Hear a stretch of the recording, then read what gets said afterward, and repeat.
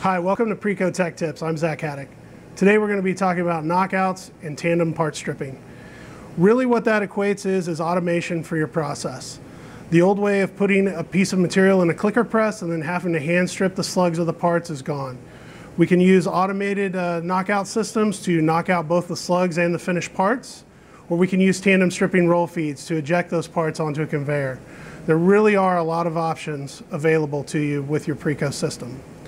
First, we're going to be talking about our knockout system.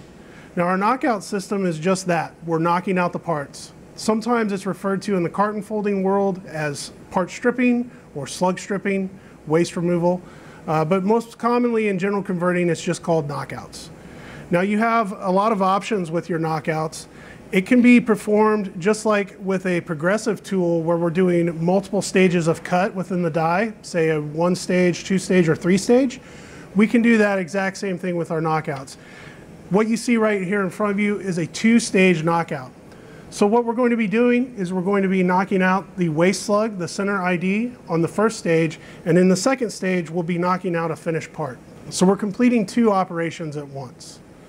Now, one of the most common questions I get asked about knockouts is, first off, where do I get the knockout? Well, most of the time, your die maker can provide knockout tooling with you at the time you purchase the die.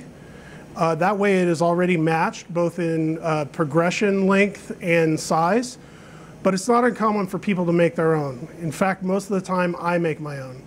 And that leads to the next common question I get. How do I know what size to make the knockout, both the male and the female portion? So when we're sizing the knockouts, in general, if I've got good control over my material, that is to say my progression length is fairly accurate and consistent, and my lateral movement or Y crossweb movement is fairly accurate and consistent. I generally like to have an eighth inch over and an eighth inch undersize.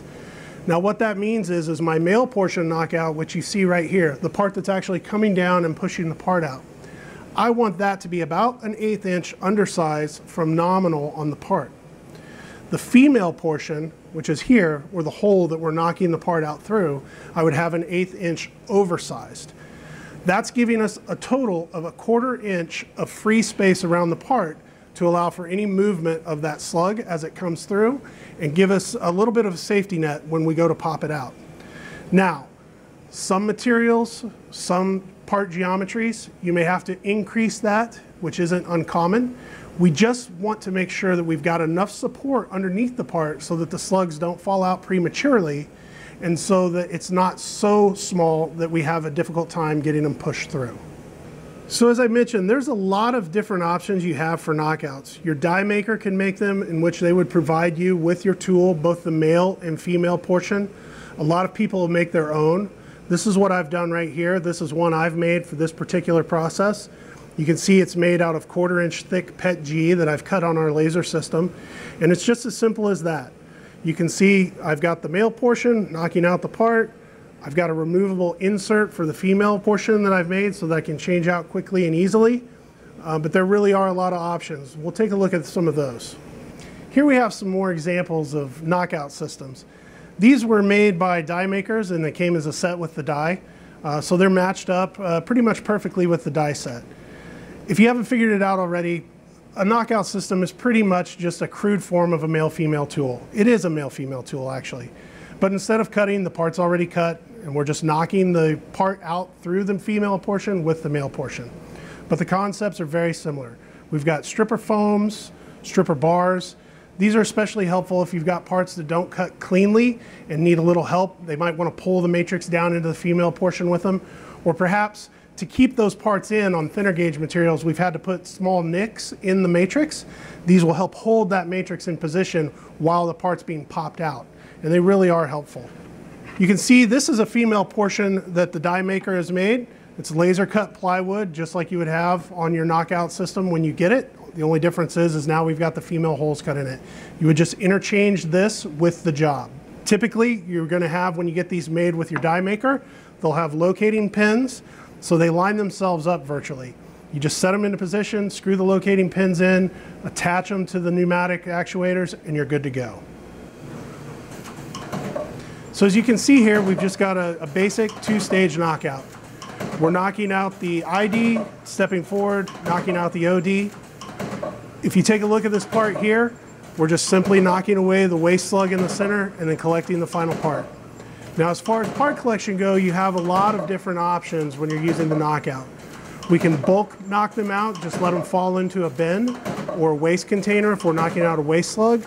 We can knock them out onto a conveyor to be presented to an operator to grab. We can place them in a cassette where they're nice, neat stacks.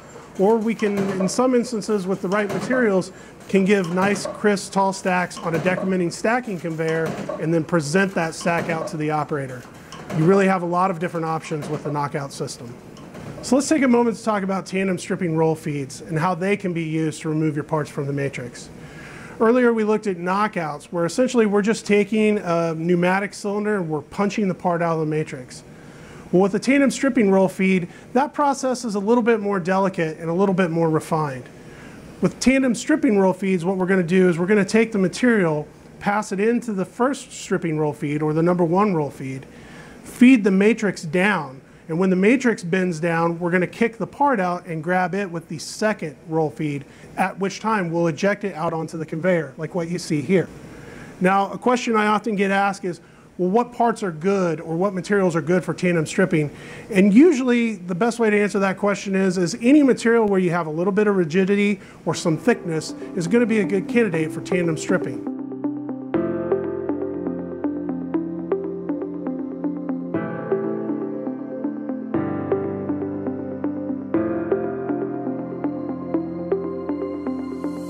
When you're ready to reduce your overall labor and start thinking about automation, it's time to start thinking about knockouts and tandem stripping. They're really going to allow you to increase your throughput, decrease your labor costs, and get more product out throughout the day. Thanks for watching this episode of Tech Tips, and look back for more episodes. Thanks for watching.